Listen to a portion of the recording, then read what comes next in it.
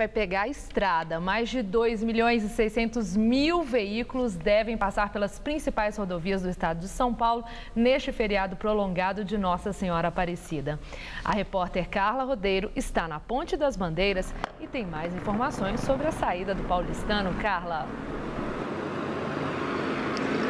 Olha, a condição do trânsito na cidade agora não é muito diferente da habitual, não. O paulistano enfrenta 152 quilômetros de lentidão, que é um índice que está dentro da média para o horário. O pior caminho está é aquele que passa aqui pela marginal do rio Tietê, no sentido Ayrton Senna. São 16 quilômetros de filas na pista expressa e um pouquinho menos na local.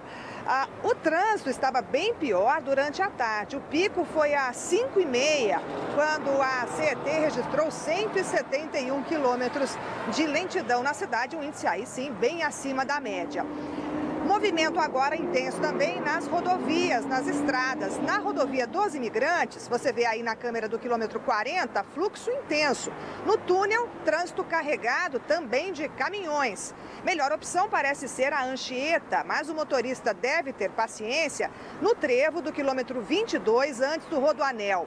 Já a Ayrton Senna, no quilômetro 19, segue movimentada perto da saída para o aeroporto de Guarulhos. Bem, o movimento nas estradas deve continuar intenso até por volta da meia-noite. Aí dá um refresco durante a madrugada e volta a crescer a partir das 8 da manhã e se mantém muito intenso durante todo o dia, durante todo o sábado até as 8 da noite.